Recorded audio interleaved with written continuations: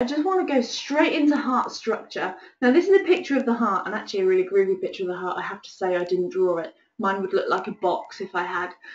But from this I really want you to have a little look. Now I have not misspelt the sides of the heart on here. When you look at a picture of the heart, the left side of that heart is what looks like our right side of us now reading this or watching this or looking at it.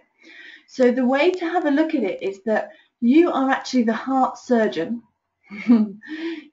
on the names of the heart, ventricles and atrium and chambers all come down to the heart that it belongs to. So it's your client's heart, it's your patient's heart, not yours. So it's the left side of the heart, not our left side. Okay, so right side is what looks like our left side and the left side is what looks like our right side. Now, this one up here is on the top right of, that you can see is the left atrium. So atria are at the top and then ventricles are at the bottom.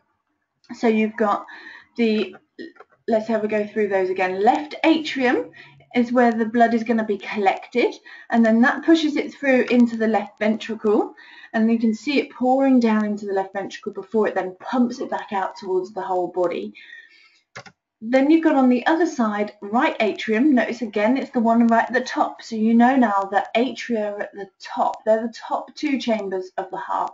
And your ventricles are the ones at the bottom. Now the characteristic difference is that atria is the opening, it's the hallway, it's the collecting chamber. So if you've ever been to a theatre, your atria is literally the atrium is the entrance hall. That's what these top uh, chambers are doing, they're entrance halls for the blood.